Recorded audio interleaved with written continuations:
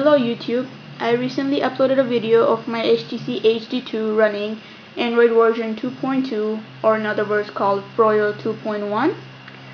Here's the website where you'll download it from, mainly known as GameSquare. I'll put the links up in the video so make sure to check in the details if you're looking to download Android for your HTC HD2. So once you're on the website, scroll down Click on Froyo build by Darkstone which will bring you to the latest build which is Darkstone HD2 Froyo version 2.1 so known as Android 2.2 released on August 18 so it's the latest out there. Scroll down it will tell you details about who the creators are what websites they're from and so on and so forth scroll further it'll actually tell you all the details associated with this build as in what's working currently and what's not and what you should be doing if you're downloading to your phone. So once you check all that for downloading scroll further scroll down further till you see the download button or download link I should say. You click on download um, it'll bring you to a page where you have multiple options either of rapid share or multi-upload. I downloaded from rapid share depends on you if you have premium user or free user so download the file. It'll download as a zip file. Um, once your download is done extract the files to your memory card which you're gonna be using for the phone. What I noticed is I was using a 2 gig card for trial purposes in the beginning and I hadn't formatted the card since it was with no files so I just extracted the Android files to it. And I had trouble booting the Android power system up. It wouldn't find the files it would needed when it was installing it.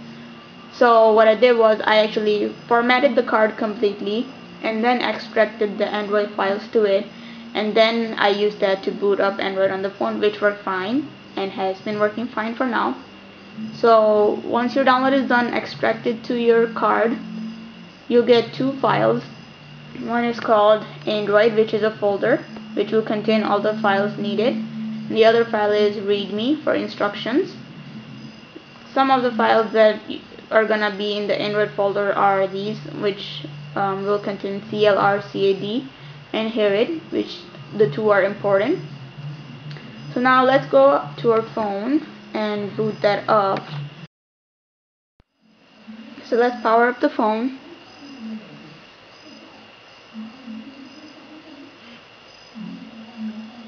Now with the current Android version 2.2 I've noticed once Windows starts up and when you launch Android this one doesn't take as long to boot up as the earlier version did and then with this one I've been using it for about a week or two now. I've noticed really good improvements. I haven't used Android long on the HD2 but I have used Android before um, when the first G1 came out so I'm pretty happy with the results that are showing with this one. The battery life is really good compared to the earlier version I had which would die in about an hour and a half without using this one. I have used most of the day with checking emails every 5 minutes or 10 minutes um, using the apps navigation. Navigation works smooth also. Um, really good maps pinpoints where you are gives you like TomTom -tom sort of directions. So now once it's loaded up press Windows scroll up go into File Explorer. For me this is already bringing it into the storage card portion um, where you actually need to go. Um, once you click in Android you're gonna click into CLRCAD it doesn't necessarily have to bring up a pop-up indicating it's running a file. So after that click on HaRET which will bring a warning up saying it's a program from unknown publisher and you need, you need to give permission for it to run. So just click on yes. And it'll start loading up all the files. So just give it a minute or two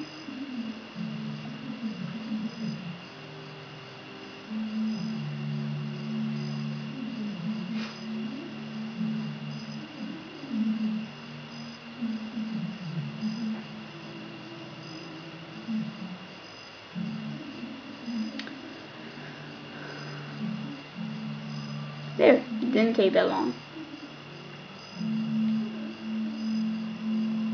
compared to what I've used before.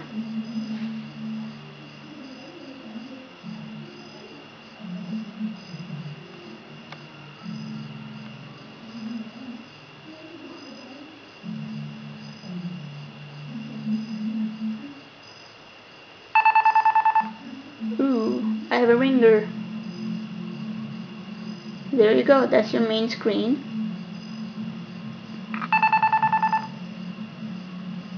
Another notification of emails. So notifications were good so far. We'll go and unlock. There you go, on the main screen.